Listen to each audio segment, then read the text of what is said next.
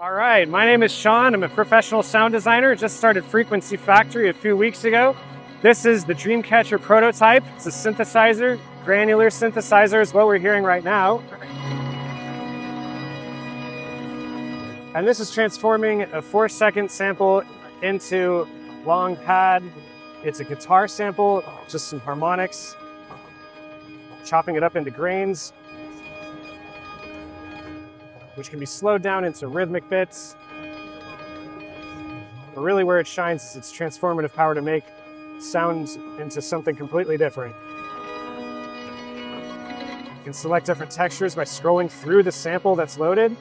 It has live input, comes loaded with all kinds of material. Today I have just this four second sample to show how much it can really change the sound.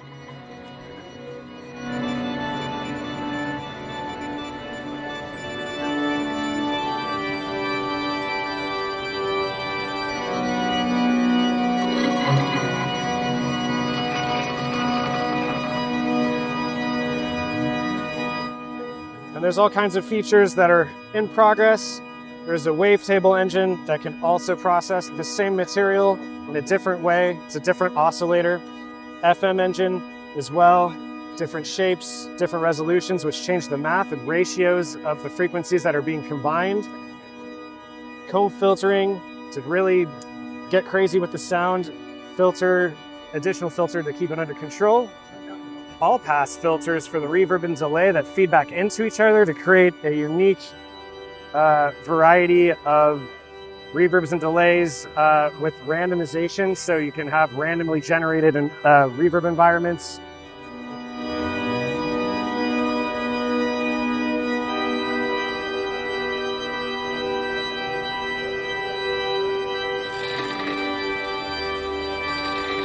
Are we hearing the comb filter at all?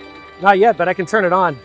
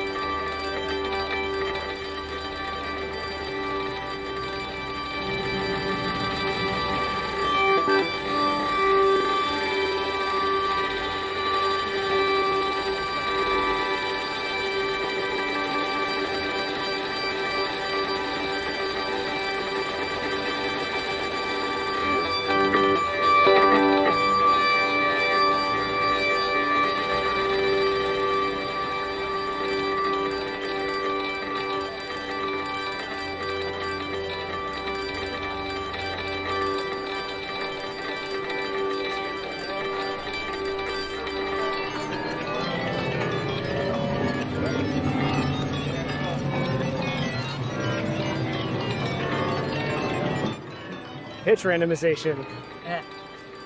So all these knobs are eventually going to be functional. Of course, they're going to, the final design is going to be different. This is just a prototype, a few months in the works. Uh, looking forward to see where this goes. Coming out sometime next year, I'm thinking. Um, yeah, looking forward to see, you know, where this all lands.